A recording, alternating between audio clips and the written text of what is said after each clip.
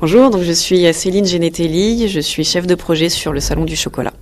Alors cette euh, deuxième édition de ce salon du chocolat, euh, euh, Creativa aussi à côté, comment va-t-il se dérouler? Qu'est-ce qu'on va pouvoir découvrir dans cette nouvelle édition?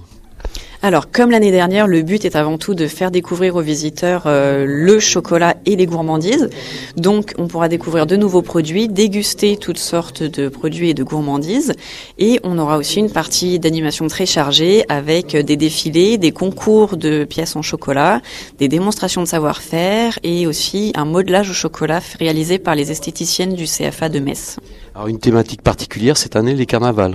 Tout à fait. Les carnavals du monde cette année donc seront seront mis en avant à travers les défilés, mais aussi les pièces en chocolat. Des animations autour de ce salon du chocolat Donc les animations, nous aurons des défilés euh, avec des coiffures, des chapeaux et des masques en chocolat, également des très belles robes en papier et carton. On aura aussi des démonstrations de savoir-faire, des expositions de pièces en chocolat et euh, des modelages au chocolat. Alors, quels sont les, exposants qui seront présents dans cette édition?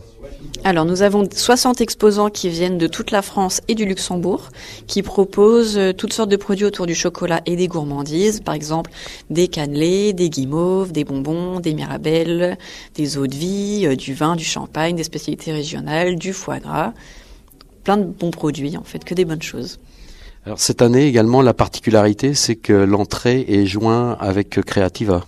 Voilà, tout à fait. Donc cette année, l'entrée, c'est un tarif unique, c'est 7 euros.